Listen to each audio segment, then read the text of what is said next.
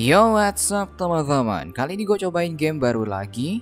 Nama gamenya adalah Aula Starto BTW ini game baru tahap CBT Dan kalian bisa lihat Untuk bahasanya sendiri masih berbahasa CN Jadi gue downloadnya itu lewat Playstore Hong Kong Dan tentunya harus pakai VPN Oke langsung aja Kita cobain gamenya. BTW ini mirip dengan Pokemon ya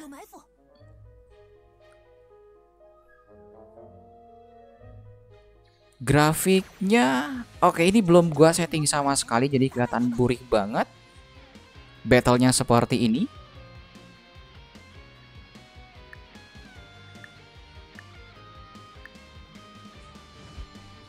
Wait Ini ultimate-nya kah?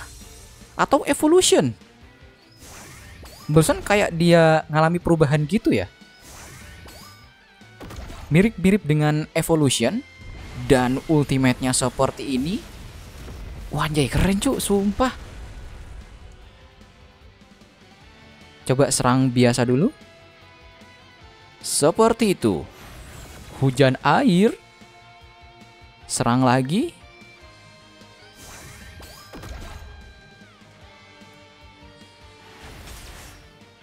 Keren cuk, asli. Tapi sayangnya ini game belum tersedia secara global ya.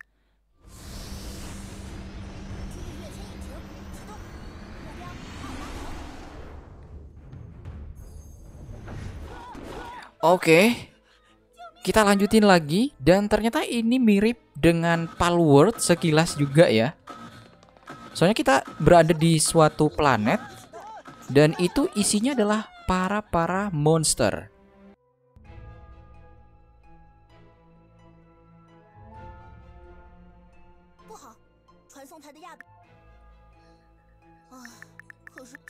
Ini bakal jadi menarik banget sih. Karena ada storynya juga teman-teman.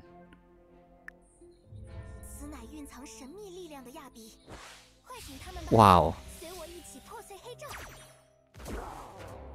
Dia ngeluarin monster-monster. Anjay, unyu-unyu banget. Atau jangan-jangan kita disuruh milih nih. Oh yoi, kita disuruh milih. Tentu saja kita pilih yang api. Seperti game Pokemon pada umumnya ya. Biasanya di awal kita disuruh milih juga.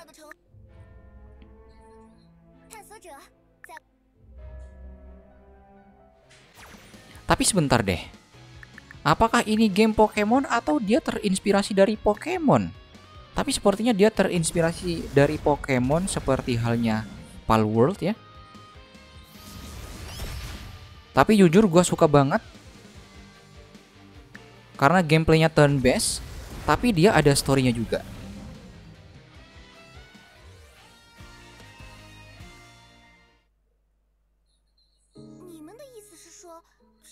Kita langsung skip aja ya, biar gak terlalu lama storynya. Lanjut kita battle sekali lagi. Hujan api, brum brum brum brum. Masih tersisa satu biji. Hmm.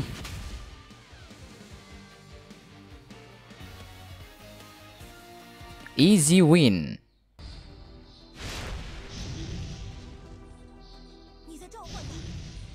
Ngeri cuy. Monster-monster sangar banget ya.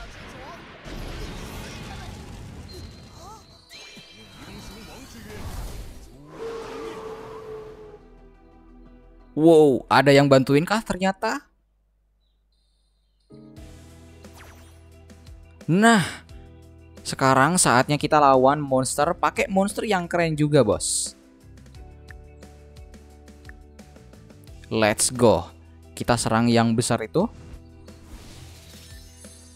Evolution dulu, lebih ngeri rupanya.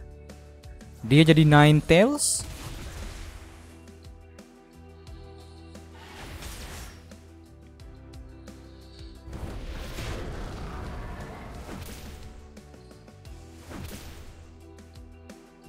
Langsung kita ultimate.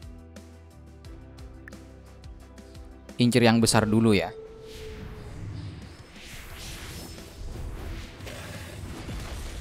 Animasinya juga gokil. Kerucuk-kerucuknya udah meninggoy nih.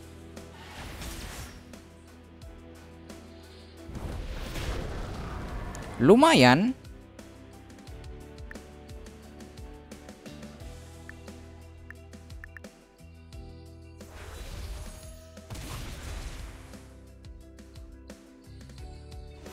Lah, damage-nya malah ini lebih besar tuh yang bocil-bocil kecil. Oke, dia udah berubah lagi. Jebum.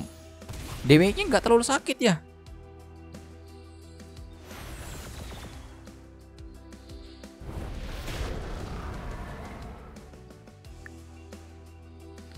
Srot.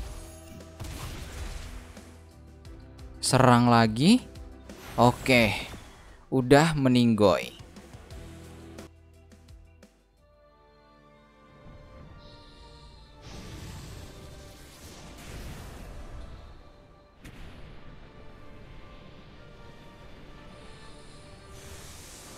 Masih bisa nyerang juga.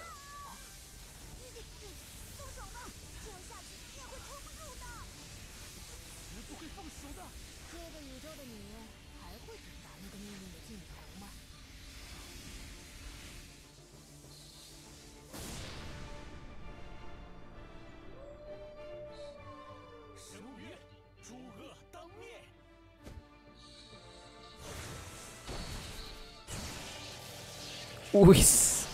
Sumpah ini keren, Cok.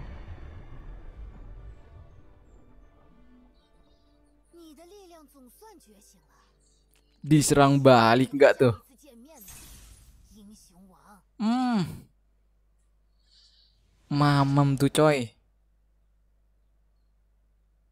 Anjay. Oh. Ternyata kita bisa ngedesain karakternya juga. Dan gua pilih seperti ini aja. Biar nggak terlalu lama. Let's go. Dan wow. Ini asli sih, lebih mirip Palworld teman-teman.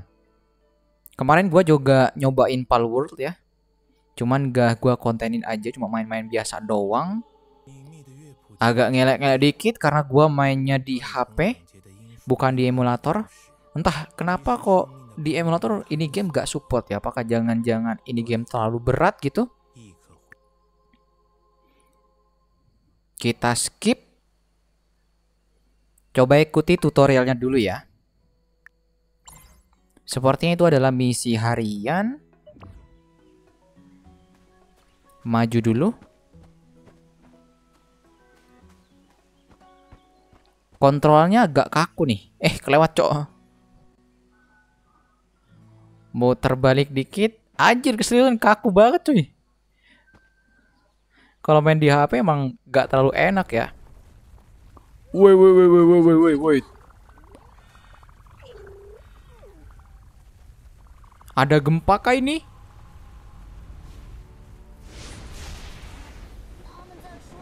Serangan monster?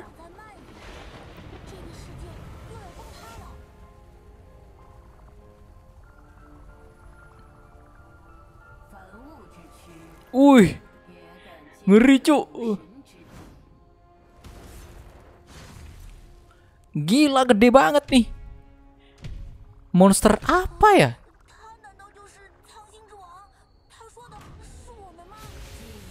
Wow.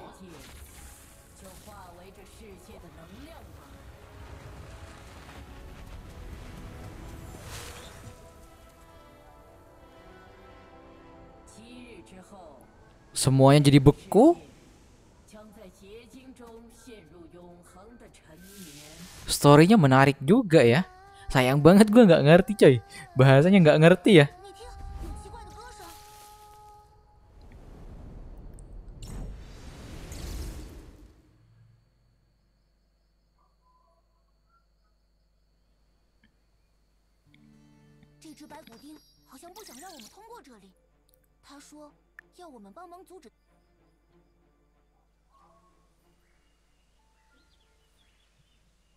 Oke, kita coba lanjutin lagi. Ini kebuka fitur baru kah? Sebentar, emang agak lama dikit ya. Coba ikutin tanda-tandanya aja. Jadi sebelah kiri tuh ada misinya. Kita bisa selesaikan, tapi sayangnya karena gue nggak ngerti bahasanya, tinggal dipencet-pencet aja. Pergi ke monster. Ini mirip dengan babi. Kayaknya disuruh battle lagi nih kita. Uh, yoi bener. Kita disuruh serang lagi nih. Easy mah. Jadi bedanya dengan Palworld, kalau Palworld kan kita bisa pergi ke mana-mana tanpa harus menyelesaikan misi. Eh, ada misinya juga. Cuman ya bebas explore gitu ya. Sedangkan kalau yang ini kan kita diharuskan untuk ngikutin misinya teman-teman. Bedanya cuma di situ doang dan enaknya atau bagusnya lagi ini bisa battle antar monster-monsternya itu.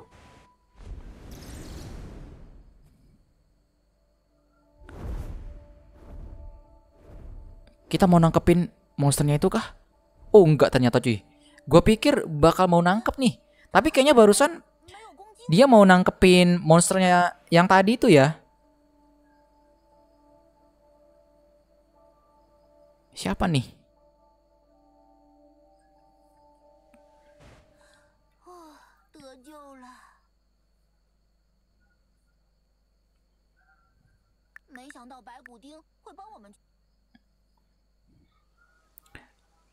Loh, ketemu lagi cuy. Ternyata dia berubah jadi manusia, bos. Oh, disuruh ngikutin. Oke. Kita tinggal ikuti aja dulu.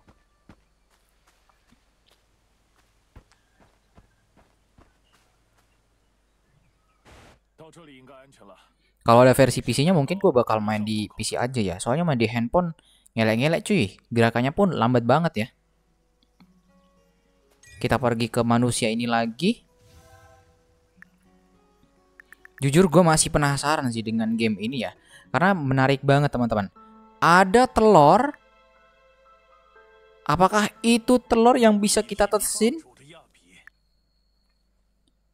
Kayaknya bisa sih ditetasin ya telurnya.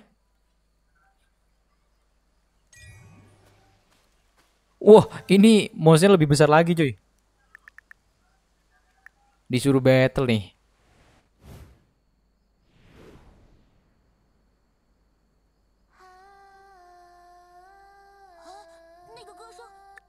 Malah ada yang nyanyi, Cok.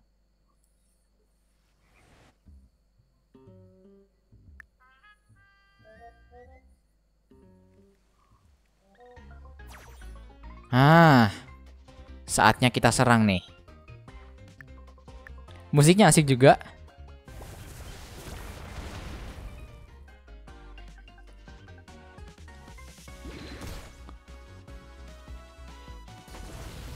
Cepret. Masih belum meninggoy. Ini diserang harus dibunuh kah?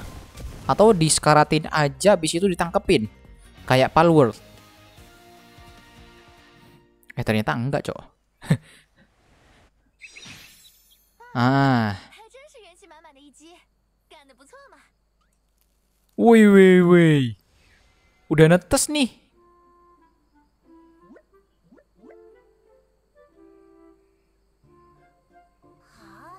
Keluarnya kuda, coy. Kayak unicorn gitu ya. Lah. Anjir. Ternyata kabur dia, Cok. Oke lah. Mungkin seperti itu aja dulu ya untuk video kali ini. Lebih lanjutnya mungkin gue masih pengen mengeksplor lagi ini game. Kalau pengen kalian juga Silahkan download di Play Store tapi harus pakai VPN Hong Kong. Makasih udah nonton, sampai jumpa di next video. Thank you.